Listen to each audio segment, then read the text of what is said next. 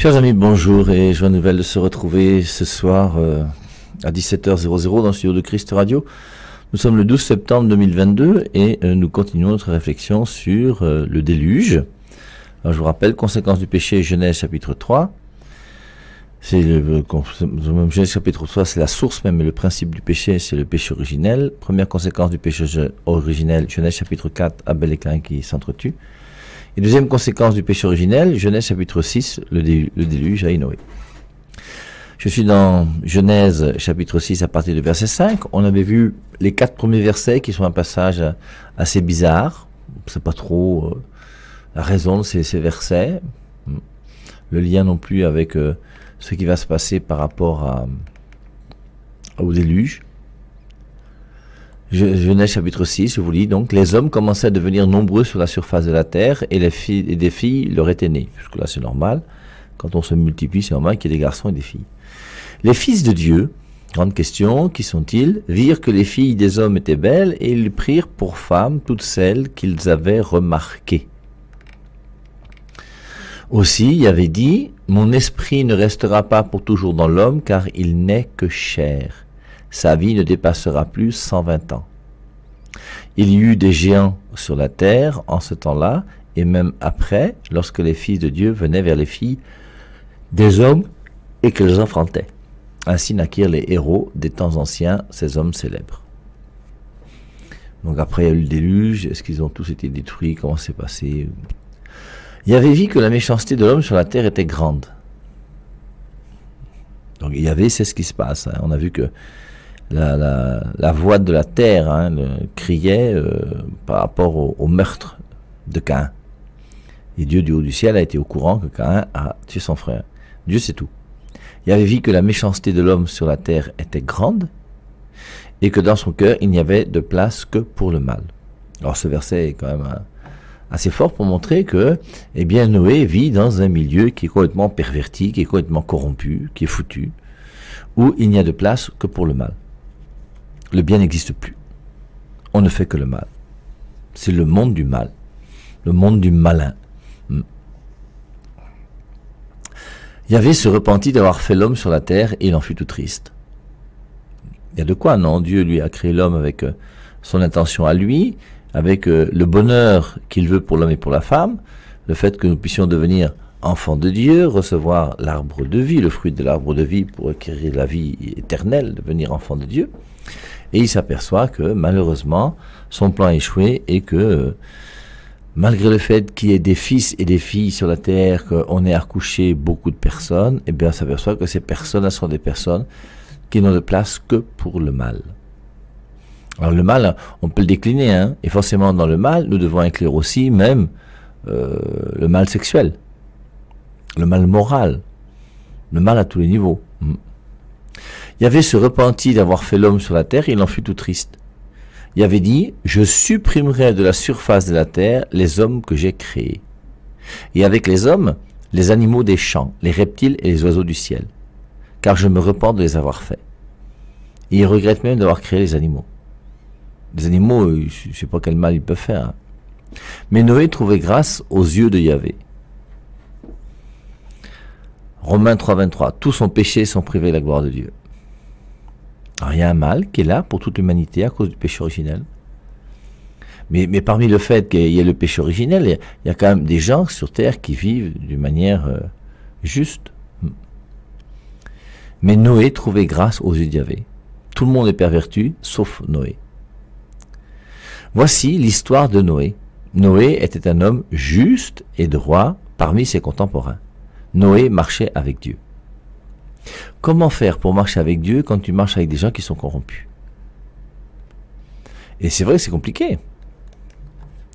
Et on voit, euh, dans, ce cas-là, hein, après Abel et Cain qui sont entretués, on voit qu'il y a quand même cet homme qui est honnête. Et qui montre un exemple dans la société dans laquelle il vit. Nous, au on dit, on va faire comment? Tout le monde fait comme ça. Comme tout le monde fait comme ça, moi je voulais que je fasse comment? Je fais comme tout le monde.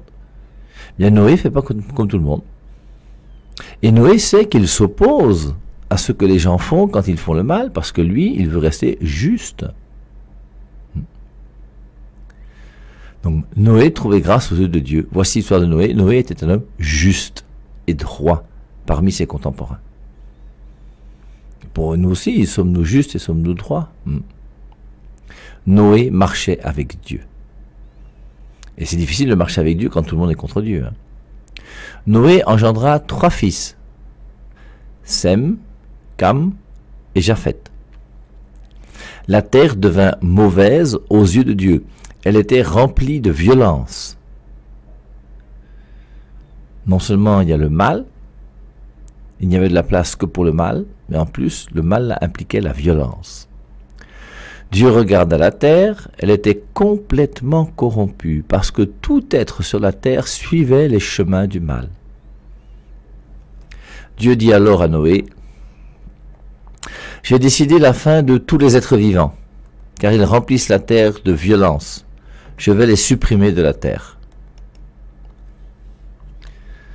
Fabrique-toi donc une arche en bois de cyprès, Dieu précise, pas n'importe quel bois, le bois de cyprès. Tu feras des niches dans l'arche et tu l'enduiras de goudron à l'intérieur et à l'extérieur. Voici comment tu la fabriqueras. Sa longueur sera de 300 coudées, sa largeur de 50 coudées, sa hauteur de 30 coudées. Tu feras un toit pour l'arche et tu laisseras un espace libre d'une coudée entre le haut des côtés et le toit.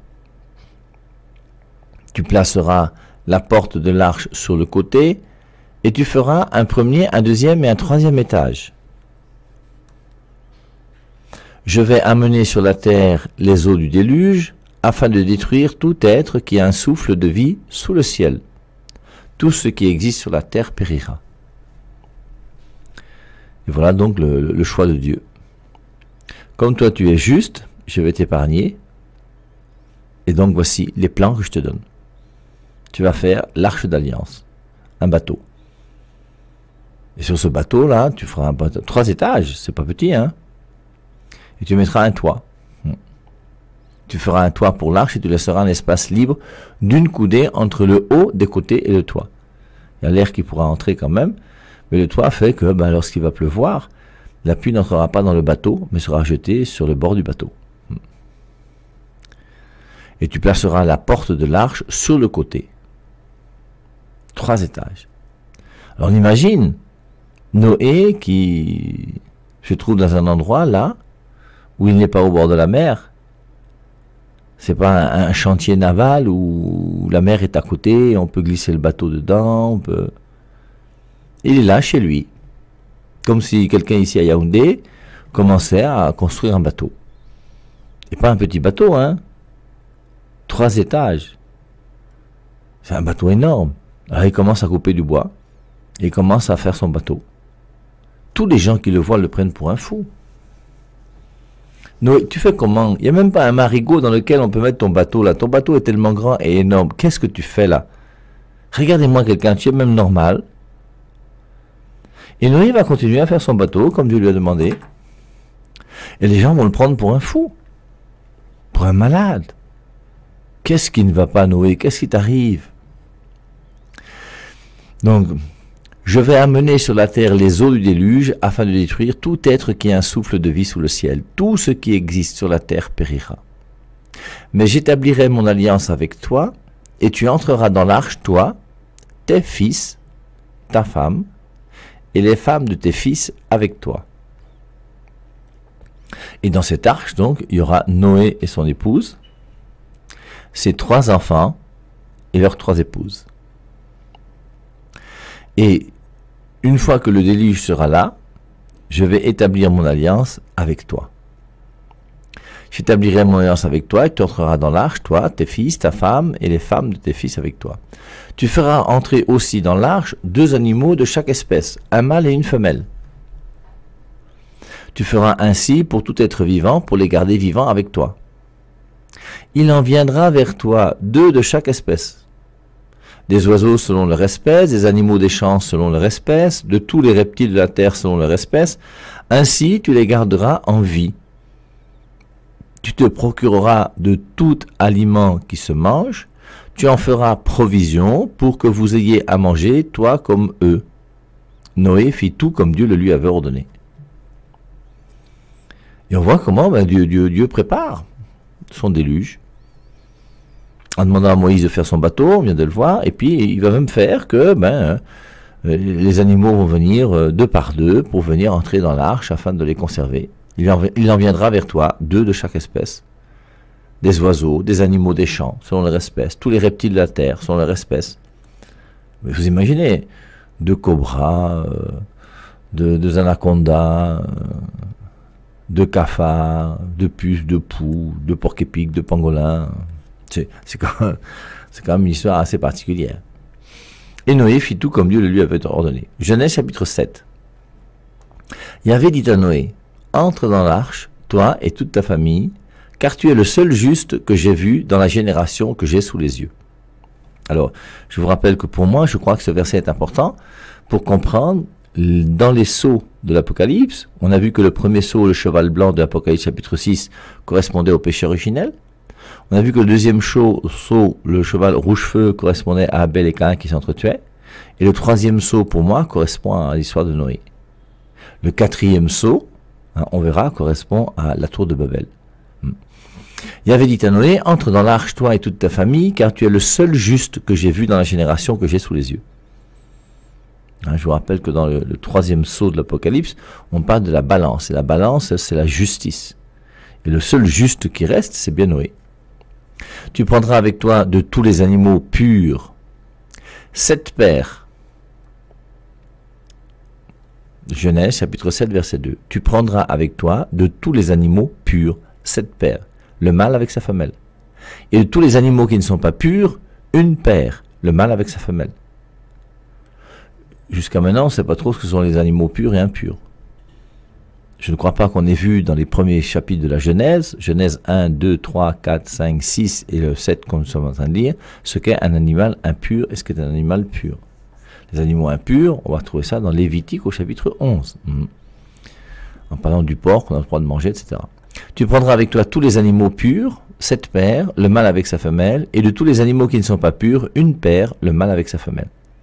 De même pour les oiseaux du ciel, sept paires, mâles et femelles, pour conserver leur race sur la surface de la terre. Car encore sept jours, et je ferai pleuvoir sur la terre pendant quarante jours et quarante nuits. Je supprimerai de la surface de la terre tous les êtres que j'ai faits. Noé fit tout ce que Yahvé lui avait ordonné. Noé avait six cents ans lorsque le déluge des eaux commença à inonder la terre. Noé entra dans l'arche avec ses fils, sa femme et les femmes de ses fils, pour échapper aux eaux du déluge. Des animaux purs et des animaux qui ne sont pas purs, des oiseaux et de tous les reptiles de la terre, il en vint vers Noé dans l'arche, deux par deux, mâles et femelles, selon ce que Dieu avait ordonné à Noé, et au bout de sept jours, les eaux du déluge inondèrent la terre. C'était la six centième année de la vie de Noé. Le dix-septième jour du deuxième mois. En ce jour-là, toutes les fontaines du fond de la mer jaillirent, et les écluses du ciel s'ouvrirent. La pluie allait tomber sur terre pendant quarante jours et quarante nuits. Ce jour-là, Noé entra dans l'arche avec ses fils, Sem, Cam et Japhet, avec sa femme et les trois femmes de ses fils. Avec eux entrèrent aussi toutes les bêtes selon leur espèce, tous les animaux des champs selon leur espèce, tous les reptiles qui rampent sur la terre selon leur espèce, et tous les oiseaux et tout ce qui vole, chacun selon leur espèce. Il arrivait auprès de Noé dans l'arche, deux par deux, de toutes les espèces. Ils entraient, le mâle avec sa femelle, ils en arrivaient de chaque espèce selon l'ordre de Dieu. Et puis, il y la porte derrière Noé. C'est très joli, hein, hein Dans les tables de la loi, on voit que c'est l'écriture de Dieu. Dieu écrit sur la table de la loi. Et là, puis Yahvé ferma la porte derrière eux. C'est Yahvé qui a fermé la porte.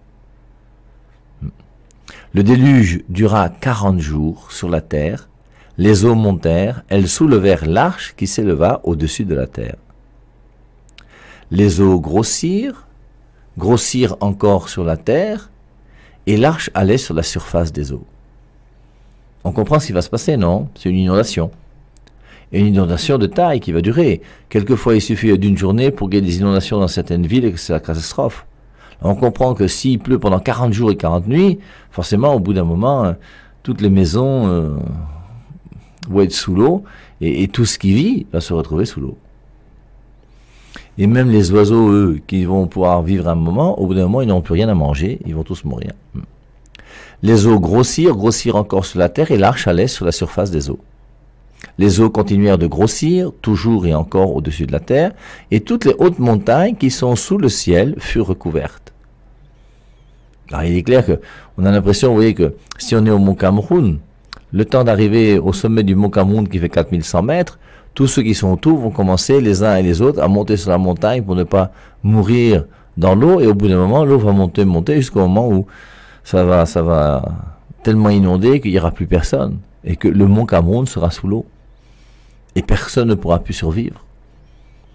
Les eaux continuèrent de grossir toujours et encore au-dessus de la terre, et toutes les hautes montagnes qui sont sous le ciel furent recouvertes. L'Himalaya fait 8 km de haut, hein, hmm. si mes souvenirs sont bons. Les eaux montèrent encore de 15 coudées quand toutes les montagnes étaient déjà recouvertes. Tous les êtres vivants de la terre périrent, oiseaux, animaux des champs, bêtes sauvages, tout ce qui vivait et bougeait sur la terre, ainsi que tous les hommes. Tout ce qui avait un souffle de vie dans les narines, tout ce qui existait sur la terre ferme mourut. Alors tous les êtres qui se trouvaient sur la surface de la terre disparurent. Depuis les hommes jusqu'aux animaux des champs, jusqu'aux reptiles et aux oiseaux du ciel, ils disparurent de la terre, il ne resta plus que Noé et ceux qui étaient avec lui dans l'arche, les eaux recouvrirent ainsi la terre pendant 150 jours. Alors on comprend hein, comment ça s'est passé, c'est simple, ça s'explique très facilement, et on voit que ce qui a permis à Noé d'être sauvé, c'est l'arche. Et c'est pour ça que cette arche d'alliance va symboliser pour nous l'Église. Parce que l'Église sauve. Si un pasteur vous dit que l'Église ne sauve pas, c'est un pasteur qui malheureusement dit des bêtises. L'Église sauve. L'Église est nécessaire au salut. Il n'y a pas que Jésus-Christ qui sauve. Le baptême sauve. La foi sauve. La parole de Dieu sauve. Et, l'arche d'alliance sauve. Et l'Église sera symbolisée par cette arche d'alliance. L'Église, c'est tous ceux qui, malgré toutes les difficultés qui sont autour de nous, vont accepter de vivre conformément à ce que le Christ veut pour recevoir la parole de Dieu nette de nouveau et ainsi être assurés du salut.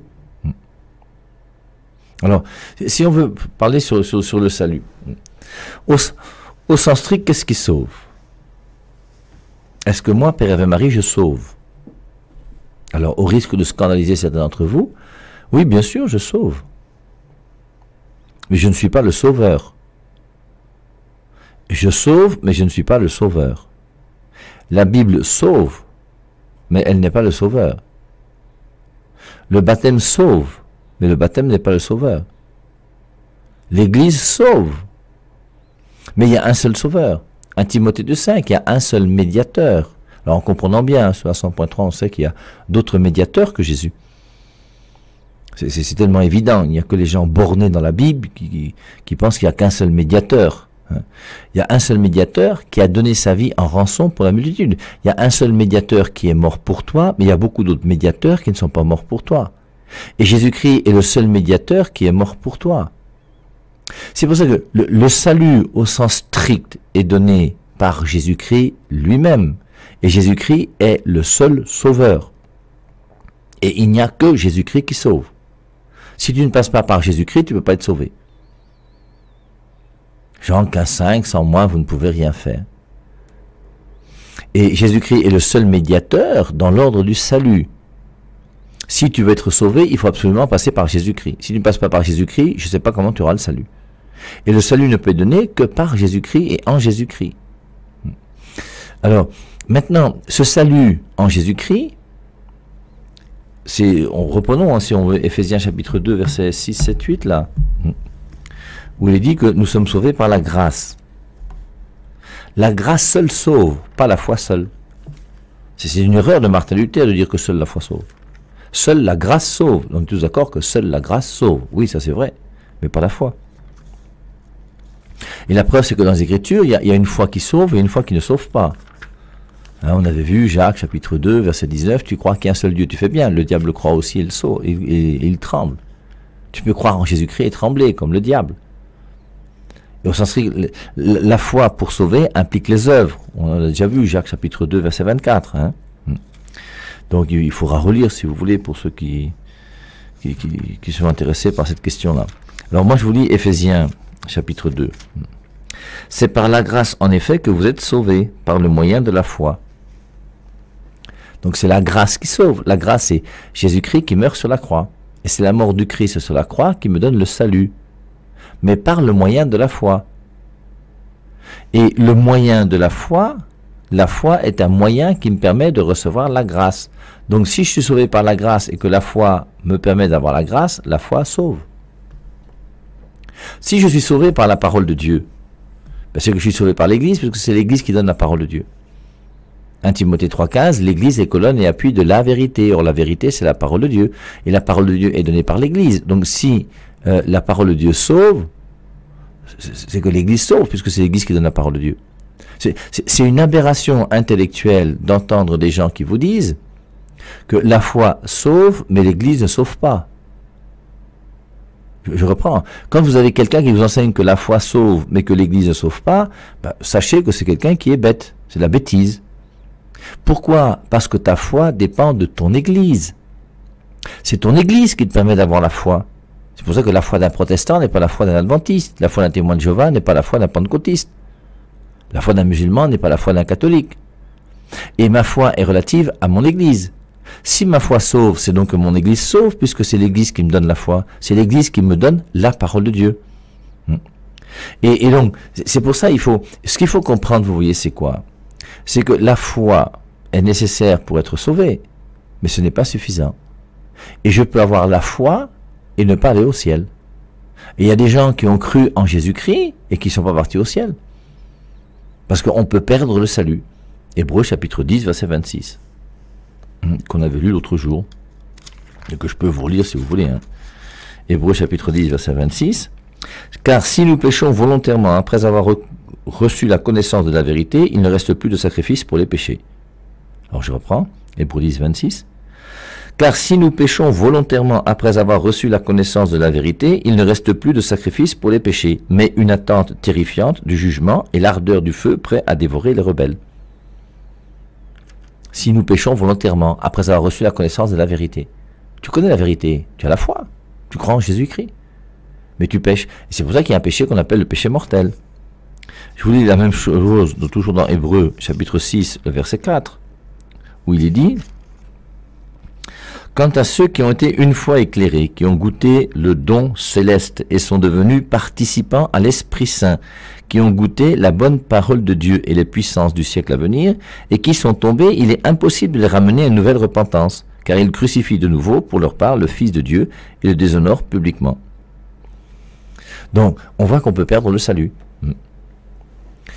Maintenant, ce qui sauve, c'est Jésus-Christ crucifié. Or, Jésus-Christ crucifié, ça dépend pas de moi. Et c'est pour ça que Jésus-Christ crucifié m'est donné gratuitement. C'est la grâce. C'est la grâce gratuite de Dieu. Et ça ne dépend pas de moi, ça ne dépend pas de mes œuvres, ça ne dépend pas de ce que je pense ou de ce que je suis, ça ne dépend pas de ma naissance ou du, travail que je fais. Ça dépend du Christ qui un jour a décidé de venir sur terre, a décidé de mourir pour nous. Et maintenant que le Christ est mort pour moi, le salut m'est proposé. Mais maintenant que le Christ est mort pour moi, ça n'empêche pas les gens de partir en enfer. Le Christ, en mourant, m'a donné la possibilité d'être sauvé. Je veux dire, imaginez que je sois en prison, je suis enfermé. Maintenant, grâce à la mort du Christ, on donne la clé de la porte de la prison à tous les prisonniers. Il y a des prisonniers qui vont donc utiliser cette clé qui vient de la croix du Christ et qui vont ouvrir la porte et qui vont sortir. Mais il y a d'autres qui se trouvent bien en prison et qui vont rester en prison, qui vont pas vouloir sortir. Et c'est pour ça que le Christ, en mourant, me donne maintenant la possibilité à moi d'être libéré, d'être sauvé. Mais il faut pour cela que moi aussi, j'accepte d'ouvrir la porte avec la clé. C'est pour ça qu'une fois que Jésus-Christ est mort pour moi, il faut maintenant que j'accepte cette mort du Christ dans ma vie, que je l'accueille, que je crois que Jésus-Christ est réellement mon sauveur, et maintenant que je vive conformément à ce que Jésus-Christ me dit. Jésus-Christ est mort sur la croix pour moi, il m'a sauvé, il n'y a pas de souci. Maintenant il dit ne vole pas, toi tu voles. Il dit ne triche pas, toi tu triches. Il dit, euh, je sais pas, tout, tout ce qu'il a dit non, et tu refuses. Mais comment veux-tu être sauvé? Tu ne seras pas sauvé. Mais le Christ, en mourant sur la terre, a sauvé tous les hommes. Hmm. Et c'est pour ça que le principe du salut, c'est Jésus et Jésus seul. C'est Jésus seul qui sauve. Au sens strict, il n'y a pas de salut en dehors que du salut en Jésus-Christ. Romains 10, 13, quiconque invoquera le nom du Seigneur sera sauvé. Hmm. Alors, maintenant, ce que nous devons comprendre, c'est quoi? C'est que euh, moi, Père Ave Marie, je vous dis que je sauve. Je sauve pas comme Jésus. Jésus-Christ est le principe du salut. Mais moi, je suis un moyen que Dieu utilise pour que par ma parole, certains puissent être unis à Jésus-Christ, croire en lui et être sauvés. Quand une maman commence à apprendre à son enfant à dire Jésus, elle participe au salut de son enfant. Quand une maman refuse de dire à son enfant Jésus, forcément, elle ne participe pas à son salut. Quand, pour nous les catholiques, un père et une mère de famille font baptiser un enfant lorsqu'il est tout petit, ben, ils participent à son salut. Et c'est le père et la mère qui vont sauver l'enfant en le permettant de recevoir la grâce de Dieu, parce que par le baptême, Romains 6.3, ignorez-vous que lorsque vous êtes baptisé, vous êtes baptisé dans la mort de Christ. Et par le baptême, l'enfant va recevoir le salut de Jésus-Christ. Il va être baptisé dans la mort du Christ. Il va être plongé dans la mort du Christ et ainsi il recevra le salut. Donc, il y a des gens qui ont cru en Jésus-Christ grâce au Père et Marie. Que ce soit Christade, que ce soit caravane d'évaluation, que ce soit tout, ce qu'on a fait, peu importe. Hein. Émission de Canal 2. Et j'ai été, pour certains, un moyen qui leur a permis de pouvoir aller au Christ. Et en ce sens-là, je fais partie des moyens qui lui ont permis d'aller au, de recevoir la vie divine. Un père et une mère de famille participent à, ce salut par rapport à leurs enfants. Mais en se comprenant que le principe du salut, c'est Jésus et Jésus seul. Et j'en profite pour vous rappeler une fois de plus, parce qu'il faut dénoncer cette fausse traduction de Jean 1.1, au commencement était le Verbe. Le Verbe, c'est la deuxième personne de la Trinité. Et dans Jean 1.12, il est écrit, à ceux qui ont cru en lui, il a donné le pouvoir de devenir enfant de Dieu. Qui me permet de devenir enfant de Dieu? Le Christ, le Fils de Dieu qui s'est fait chair. Parce que c'est le Christ qui est mort pour moi sur la croix et qui me permet de recevoir le salut. Et c'est pour ça que la traduction de au commencement était la parole est une fausse traduction. Parce que au commencement était la parole, on va traduire dans Jean 1.12, à ceux qui l'ont reçu, elle a donné le pouvoir de devenir enfant de Dieu. Et donc, on reçoit le salutement non plus par le Christ, qui est le Fils de Dieu qui s'est fait chair, mais par la parole. Et c'est la parole maintenant qui devient mon salut, et non plus le Christ lui-même. Et je vous rappelle que c'est bien le Christ qui est mort pour toi sur la croix, et la parole de Dieu n'a jamais été crucifiée pour toi sur la croix. C'est pour ça qu'il y a bien une différence entre le Verbe qui est le Fils de Dieu, qui est mort pour toi, qui a donné sa vie, et la parole de Dieu qui n'a jamais donné sa vie pour toi. La parole de Dieu n'a jamais été crucifiée. Et c'est pour ça que c'est important de faire la distinction entre les deux. Sinon après on va faire des confusions qui deviennent énormes. Et la confusion apporte toujours mais justement la confusion, c'est-à-dire le brouhaha, le désordre, alors que euh, la distinction va apporter l'intelligence et la clarté. Donc l'arche d'alliance va devenir le salut pour euh, Noé, sa famille, puisque tout le reste de la terre sera détruit. Et cette arche d'alliance, forcément, sera une préfiguration du mystère de l'Église, qui fait que tous ceux qui seront à l'intérieur de l'arche d'alliance qui est l'Église, tous ceux qui ont cru en Jésus-Christ et tous ceux qui vont exercer cette foi chrétienne, sont des gens qui vont bénéficier de la mort du Christ sur la croix et vont se retrouver ensemble dans cette même arche qu'est l'Église. Et l'ensemble de ceux qui sont nés de nouveau, l'ensemble de ceux qui veulent suivre Jésus et qui obéissent au commandement de Dieu, c'est l'ensemble de ceux qui pourront, grâce à l'Église, parvenir au salut, malgré toutes les catastrophes qui pourront euh, arriver. Et c'est en ce sens-là où donc euh, l'arche d'alliance de Genèse chapitre 6 va préfigurer donc l'Église. Donc on voit dans ce passage de Genèse chapitre 6 et 7 comment Dieu va susciter cet homme qui est juste qu'on appelle Noé, il va lui dire, Noé, comme tu vois, comme le monde dans lequel tu vis est complètement corrompu, qui sont tous finis, sont tous pourris, ils ne valent rien, toi, je te mets à part, tu vas prendre ta femme, tu prends tes trois enfants et chacune de leurs femmes, je fais faire venir pour toi des animaux. Alors, euh, on dit sept, on dit un, on sait pas trop ce qu'on dit, mais peu importe. En tout cas, il y a des couples qui vont venir. Des animaux purs, animaux impurs, sept, les autres un que. Je vais faire venir tout ça. Tu vas mettre tout ça dans l'arche et ensuite je ferai pleuvoir. Et c'est Dieu lui-même qui va fermer la porte. Et lorsque Dieu va fermer la porte, il va faire pleuvoir. Hein. et, la, terre entière va être recouverte. La, montagne la plus haute au-dessus d'elle, il y aura au moins 15 coudées. Et si bien que la terre entière sera inondée. Et sur la terre, il n'y a plus autour de la terre que de la mer.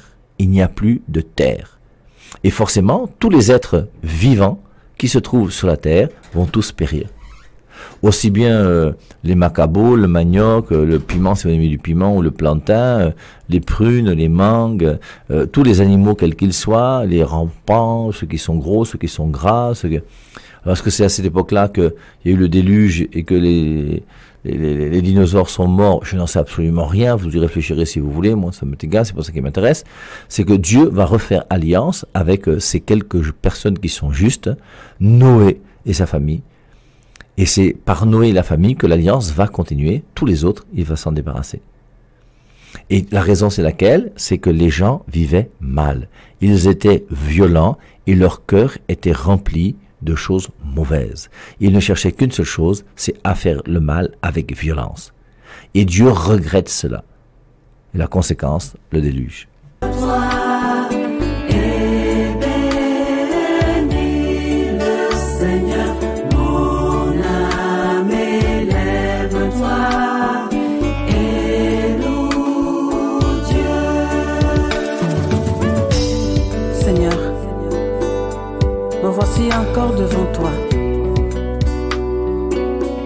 Te dire merci car tu as fait du bien.